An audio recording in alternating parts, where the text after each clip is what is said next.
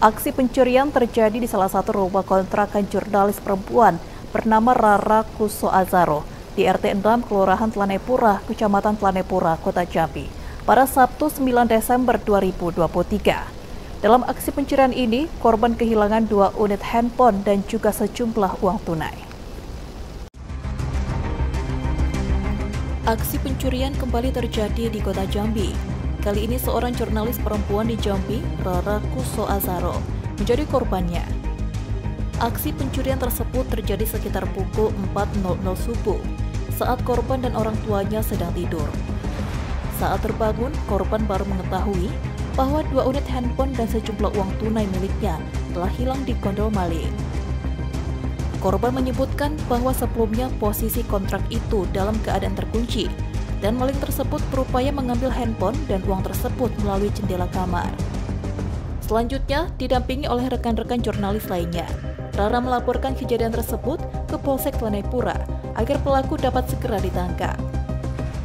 Tadi pagi habis bangun tidur, itu tuh um, sadar sekitar setengah empat, jam empat kurang lah ya, jam empat kurang ternyata pas ngecek HP biasanya langsung ngecek HP pas ngecek HP ternyata HP-nya nggak ada. Kebetulan ibu lagi ibu saya lagi pergi ke kota Jambi kan lagi uh, jenguk saya di kota Jambi.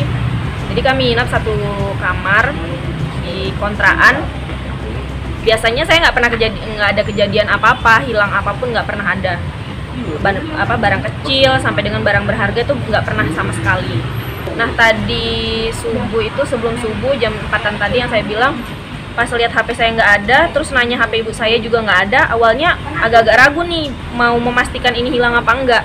Terus kami saya langsung berdiri nyari kan itu posisinya baru bangun tidur banget berdiri ternyata di situ nggak ada HP sama sekali jadi kan pastiin lagi kok nggak ada padahal di situ di rumah di rumah kontrakan cuma kami berdua jadi pas kami lihat ke jendela rupanya ada tas ibu saya itu tergantung di uh, jendela itu.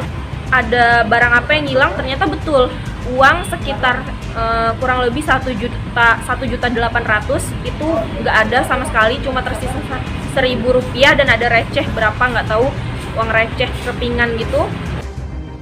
Atas kejadian tersebut, dirinya mengalami kerugian ditaksir sebesar ribu rupiah. Sandi, Cek TV, melaporkan.